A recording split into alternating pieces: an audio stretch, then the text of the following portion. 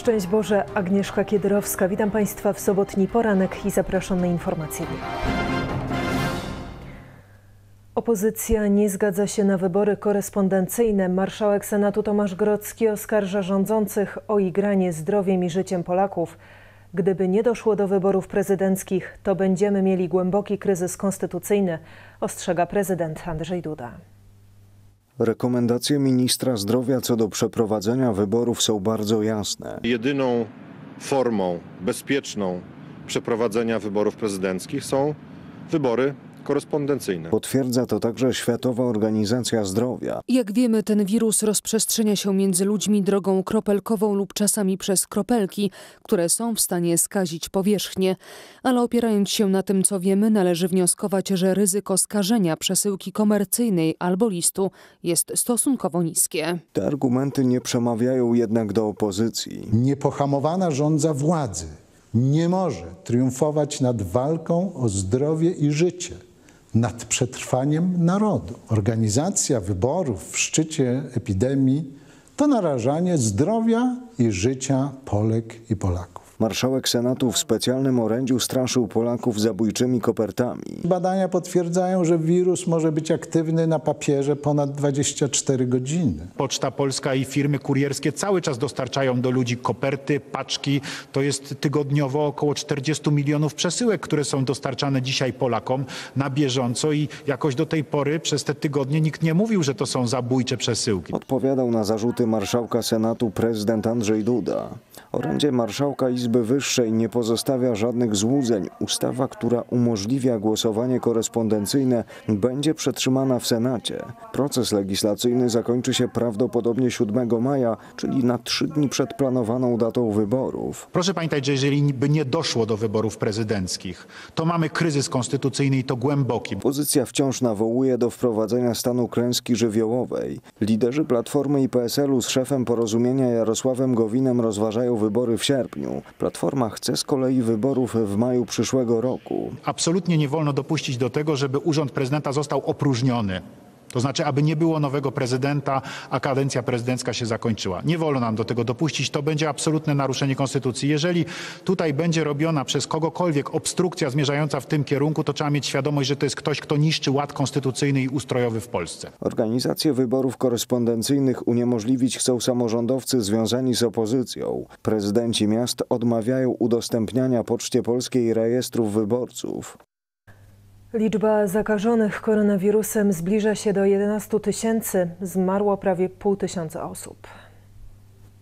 Święta wielkanocne nie spowodowały gwałtownego wzrostu zachorowań na koronawirusa. Polacy zachowali się niezwykle odpowiedzialnie, pozostali w domach. Trudno jednak mówić, że sytuacja jest opanowana. Ministerstwo Zdrowia analizuje, jaki wpływ na liczbę zachorowań miało zniesienie niektórych restrykcji. Od poniedziałku otwarte są lasy. Więcej wiernych może też przebywać w kościele. Pierwsze e, informacje o wpływie e, zniesienia pewnych regulacji, które nastąpiły e, w poniedziałek, e, będziemy mogli podać dopiero w przyszłym tygodniu. Jeśli rząd zdecyduje się na przejście do kolejnego etapu zniesienia ograniczeń, otwarte zostaną m.in. hotele i miejsca noclegowe. Dostępne będą też niektóre instytucje kultury, biblioteki, muzea i galerie sztuki.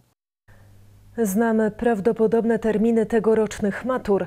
Egzaminy pisemne, bo tylko takie będą w tym roku, rozpoczną się 8 czerwca. Na początku lipca będą możliwe dodatkowe egzaminy dojrzałości dla osób, które z różnych względów nie będą pisać w pierwszym terminie. Wyniki mają być znane do 11 sierpnia. Od 12 marca zamknięte są przedszkola, szkoły i uczelnie. I tak będzie do 24 maja, informuje minister edukacji narodowej Dariusz Piątkowski. Niestety obecne warunki epidemiczne nie pozwalają na to, abyśmy odwieścili działalność szkół, przedszkoli, żłobków. E, Dlatego też zdecydowaliśmy o e, dalszym ograniczeniu działalności tych placówek. W efekcie uczniowie szkół podstawowych, ponadgimnazjalnych, ponadpodstawowych kontynuują naukę w formie zdalnej. Matury w tym roku są przesunięte o ponad miesiąc. Rozpoczną się one 8 czerwca egzaminem z języka polskiego i potem w kolejnych dniach egzaminy z kolejnych przedmiotów aż do końcówki czerwca. E, Chcielibyśmy, aby w tym roku ze względu na szczególną sytuację, sytuację epidemiczną, e, nie miały one tej części ustnej. Od 16 do 18 czerwca mają natomiast odbyć się egzaminy dla ósmoklasistów. Od 22 czerwca egzaminy potwierdzające klasyfikacje zawodowe, a potem w połowie sierpnia egzaminy zawodowe dla uczniów szkół policealnych. Przewidziane terminy egzaminów zależeć też będą od tego, czy nadal będzie obowiązywało utrzymanie dystansu i noszenie maseczek. Przesunięte terminy egzaminów to sygnał dla wyższych uczelni, by założyć modyfikację procesu rekrutacji. Do tego procesu przygotowuje się m.in. Wyższa Szkoła Kultury Społecznej i Medialnej w Toruniu. Wyższa Szkoła Kultury Społecznej i Medialnej w Toruniu proponuje kandydatom szeroką ofertę edukacyjną od studiów licencjackich poprzez magisterskie, kończąc na studiach podyplomowych. Na nowych studentów czekają sprawdzone kierunki, między innymi dziennikarstwo i komunikacja społeczna, politologia, kulturoznawstwo czy informatyka medialna. W nadchodzącym roku akademickim będą także nowości, pielęgniarstwo, mówi rektor uczelni. Z racji tego, co przeżywamy, czego doświadczamy, bardzo potrzeba pielęgniarek, pielęgniarzy. Myślę, że nie zabraknie młodzieży, która szczególnie w tym czasie odkryła, jak bardzo nasza ojczyzna potrzebuje dziewcząt, chłopaków zdolnych do poświęceń, a bardzo potrzebujemy i brak wszyscy odczuwamy. Dla osób, które chcą zdobywać i poszerzać wiedzę oraz umiejętności, WSKSIM przygotowała szeroki wachlarz studiów podyplomowych. Są wśród nich relacje międzynarodowe i dyplomacja, polityka ochrony środowiska, ekologia i zarządzanie, dziedzictwo myśli świętego Jana Pawła II, a także prestiżowe studia menedżerskie MBA. Dziś ruszyła ich czwarta edycja. Zarządzanie i administracja w sektorze publicznym, która przygotowuje przyszłych ludzi do e, pracy w administracji e, państwowej, samorządowej, przygotowuje ludzi do pracy też w sektorze finansów publicznych. Proces rekrutacji na poszczególne kierunki studiów jest elektroniczny. Więcej informacji na stronie internetowej uczelni www.wsksim.edu.pl lub pod numerem telefonu 56 610 72 00. W ostatnim czasie okuliści odnotowują coraz więcej przypadków urazów oczu. Spowodowane jest to m.in. zwiększoną ilością wykonywanych prac remontowych w czasie kwarantanny.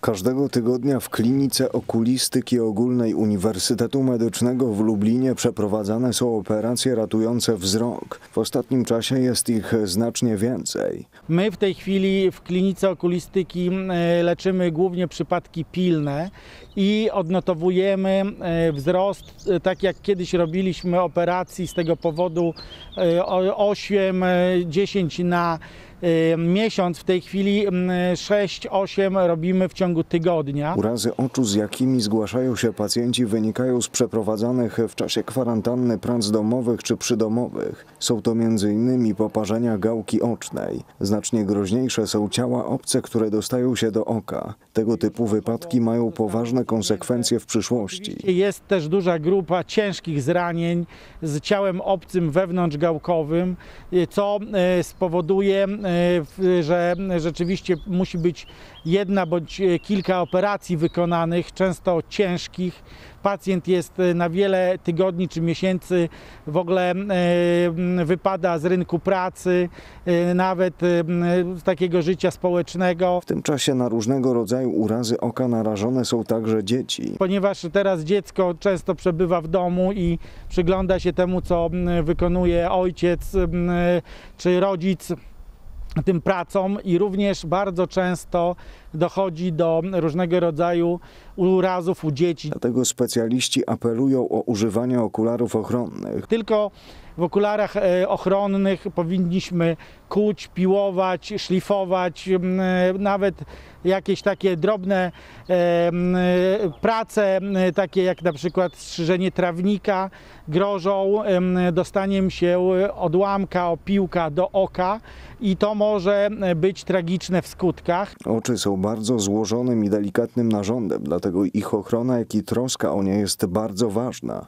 Tym bardziej, że oczy są naszym oknem na świat. Na całym świecie rośnie liczba osób zakażonych koronawirusem. Najwięcej ofiar śmiertelnych zanotowano w Stanach Zjednoczonych ponad 51 tysięcy. ONZ uruchomiła światową inicjatywę, która ma na celu przyspieszenie produkcji oraz dystrybucji szczepionki i leków na COVID-19. Liczba chorych na koronawirusa rośnie z dnia na dzień. Do Światowej Organizacji Zdrowia zgłoszono ponad milion potwierdzonych przypadków COVID-19, w tym ponad 50 tysięcy zgonów. Szef Światowej Organizacji Zdrowia poinformował, że ONZ uruchomiła wczoraj światową inicjatywę mającą na celu przyspieszenie produkcji oraz dystrybucji szczepionki i leków na COVID-19. Wiąże się to ze współpracą wielu krajów. Wielka Brytania zapowiedziała, że zorganizuje wirtualny szczyt w sprawie szczepionki na COVID-19. Najgorzej sytuacja wygląda w Stanach Zjednoczonych. Tam na koronawirusa zmarło ponad 51 tysięcy osób. We Włoszech bilans ofiar śmiertelnych sięga blisko 26 tysięcy osób. W Belgii odnotowano prawie 6700 zgonów. Wydajność naszych laboratoriów osiągnie 25 tysięcy testów na koronawirusa dziennie do 4 maja. Władze Belgii zdecydowały jednak o zniesieniu kolejnych ograniczeń wprowadzonych w związku z pandemią. Od 4 maja będą dozwolone zajęcia sportowe na wolnym powietrzu. Od 11 maja mają zostać otwarte wszystkie sklepy. Noszenie elementu ochronnego obejmującego zarówno usta, jak i nos będzie obowiązkowe podczas transportu publicznego od 4 maja dla wszystkich podróżnych od 12 lat. 18 maja edukacja w Belgii zostanie częściowo wznowiona. Lekcje będą prowadzone maksymalnie w grupie 10 uczniów w klasie. Wszyscy powyżej 12 lat będą musieli nosić w szkole maseczki. Cofnięte zostaną zakazy organizowania przyjęć w domach i jednodniowe wyprawy w góry lub na wybrzeże. Wskutek pandemii ucierpiała gospodarka na całym świecie. Rząd Holandii przeznaczy od 2 do 4 miliardów euro na pomoc dla francusko-holenderskich linii lotniczych Air France, które zostaną też wsparte przez Francję. Obecnie 90% samolotów jest uziemionych. Oznacza to, że przychody prawie zniknęły, a koszty wciąż istnieją, na przykład na sfinansowanie floty.